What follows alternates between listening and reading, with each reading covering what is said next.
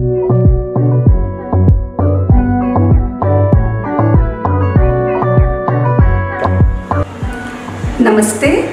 मेरा नाम मेघना शुक्ला है और मैं इंदौर शहर की रहने वाली हूँ।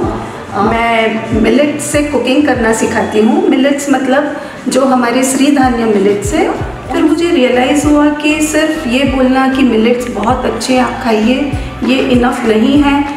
क्योंकि अगर आप कोई चीज़ बना रहे हैं और उसे प्रॉपर नहीं बना पाए अच्छा टेस्ट डेवलप नहीं कर पाए तो फिर बहुत मुश्किल है कि उसे हम लोग अपना पाएँगे अपने डेली लाइफ में। काफ़ी रिसर्च करके और इसके अलग अलग डिशेस बनानी शुरू की है। तो पहले मैं आज आपको इसकी रोटी बनाना सिखाऊँगी, क्योंकि आप जानते हैं कि हमें बहुत सारे मेथड्स हैं, इसके इडली, डोसा और खिचड़ी, चावल वगैरह तो हम लोग काफ़ी बनाते हैं, लेकिन हम नॉर्थ इंडियन लोगों को एक ही चीज़ का सबसे ज़्यादा प्रॉब्लम होता है कि हम इसकी रोटी कैसे बनाएँ, है ना? और जो हमारा अनपॉलिश अनपॉलिश्ड सिरीधान्य मिलेट जो हमें मिलता है ना, उससे फिर मैंने रोटी बनाने की कोशिश की और मैं आपको बताऊँ कि बहुत अच्छी रोटी बन गई और इनफैक्ट आटे से ज़्यादा अच्छी रोटी इससे बनी है। तो मैं आपके साथ वो टेक्निक शेयर करना चाहती हूँ कि आटे की जो न्यूट्रिशनल वैल्यू है ना वो बड़े सिर्फ़ हफ़्ते भर में ही वो आ, उसकी न्यूट्रिशनल वैल्यूज़ वगैरह ख़त्म होने लगती है और आटा थोड़ा रेंसिड होना शुरू हो जाता है ख़राब होना शुरू हो जाता है। तो हम बेसिकली बहुत ज़्यादा उसके पीछे मेहनत और तैयारी लगती है कि पाँच पाँच आटे हैं हर दो दो दिन में हम बदलें। और उसको आटे की फ्रेशनेस मेंटेन करना बहुत डिफ़िकल्ट हो जाता है एक तो हमें आटा पिसवाने की भी ज़रूरत नहीं है और दूसरा कि पूरा न्यूट्रिशन उसमें इंटैक्ट रहता है है ना? तो चलिए आइए हम देखते हैं कि कैसे होल ग्रेन आटे से हम रोटी बना सकते हैं। ये देखिए इस रोटी को बनाने के लिए हमें सिर्फ़ ये चार इंग्रेडिएंट्स की ज़रूरत है। ये ब्राउन टॉप मिलेट है ठीक है?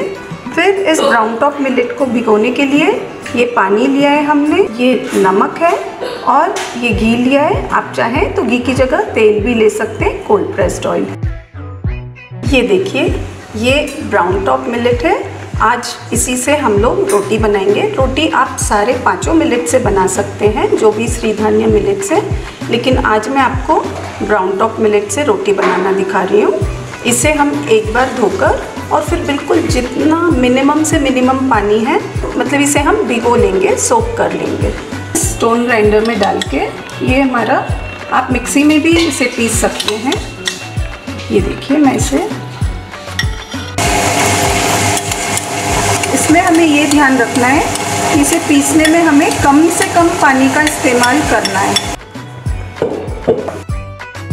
ये पीस के आटा ऐसा हो गया है। ये बिल्कुल भी पतला नहीं है। देखा आपने? इस तरह का गाढ़ा गाढ़ा हमारा। और ये बिल्कुल जितना ज़्यादा बारीक हो सके, आप बारीक से बारीक पीसिएगा इसे। बिल्कुल कहीं भी कोई दाना ना रहने पाए। ये थोड़ा सा आधा चम्मच नमक डाला है मैंने इसमें। अब इसे हम गैस पर गरम कर लेते हैं। इसे हम लोग, आप देखिए, बिल्कुल धीमी आँच है और एकदम धीमी आँच पे आपको ये ध्यान रखना है। कि ये जो बर्तन भी मैंने लिया है ना, ये काफ़ी मोटे तले का है, मोटे पेंदे का बर्तन है। अब इसमें आप इसे बस हिलाते जाइए और छोड़ना नहीं है। इसे हिलाते हुए आप पकाइए। ज़्यादा टाइम नहीं लगेगा, सिर्फ़ तीन चार मिनट में। लेकिन आप इसे छोड़िएगा मत, क्योंकि अगर छोड़ दिया ना तो ये पेंदे से लग सकता है। और अगर आपने इसे ज़्यादा गीला कर दिया तो एक तो आपको इसे पकाना भी ज़्यादा पड़ेगा और दूसरा ये भी रहता है कि ये नीचे भी लग सकता है। अब इस तरह से आप इसे हिलाते हुए बनाएँगे ना तो ये बिल्कुल अच्छे से निकल जाएगा आपका। जैसे सूखना चालू हो गया है तो ये आपको ध्यान रखना पड़ेगा कि आप इसे तोड़ते चलें, वरना कुछ गुट्ठे भी बन सकते हैं। ये काफ़ी गाढ़ा होना शुरू हो गया है। ये देखिए, अब मुझे इसे थोड़ा चलाने में भी प्रॉब्लम आ रही है। तो अब आप है ना इसे बंद कर लीजिए गैस को।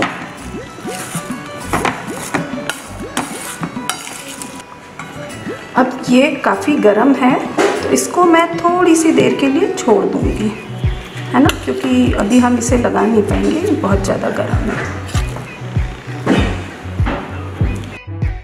आप चाहें तो अगर आप घी या तेल ना डालना चाहें तो आप बिना घी तेल के भी बना सकते हैं, पर मैं पसंद करती हूँ कि मैं थोड़ा सा इसमें डाल दूँ।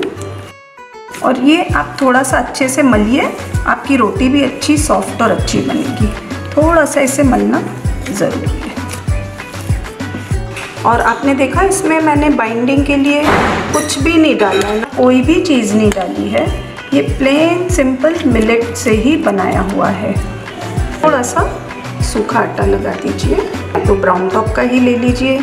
नहीं तो आप बेसन भी ले सकते हैं। क्योंकि हमें जनरली आटे से बनाने की आदत होती है तो आपको देख के लगेगा कि अरे बाप रे क्या कॉम्प्लिकेटेड प्रोसेस है। और लेकिन सिर्फ़ एक हमें थोड़ा सा एक हैबिट डालने की बात होती है। आप चाहे ना तो ये आटा लगा के दो दिन के लिए भी लगा के रख सकते जब आप रेफ्रिजरेटर में रखेंगे तो ये ऐसा ही रहेगा। ये मिलेट की रोटी मैंने पहली बार खाई है बहुत ज़्यादा टेस्टी है।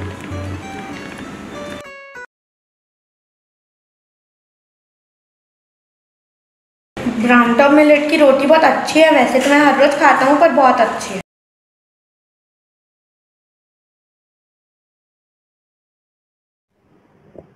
थैंक्स फॉर वॉचिंग आप हमारे वीडियोस को लाइक ज़रूर करें और सब्सक्राइब का बटन दबाना ना भूलें। और साथ में बेल आइकन भी दबाना ना भूलें।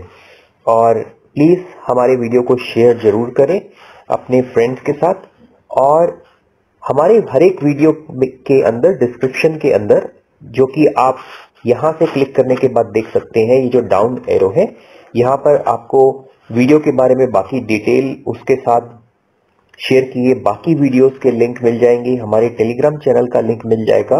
और कई बार हम अलग अलग तरह के प्रोडक्ट्स भी दिखाते हैं वीडियो के अंदर या रेफरेंस देते हैं तो उनके भी आपको लिंक्स हमारे वीडियो के डिस्क्रिप्शन के अंदर नीचे मिल जाएँगे, जो कि आप यहाँ पर वीडियो के नाम के पास जो एरो बटन है, उसको क्लिक करके आप डिस्क्रिप्शन को चेक कर सकते हैं।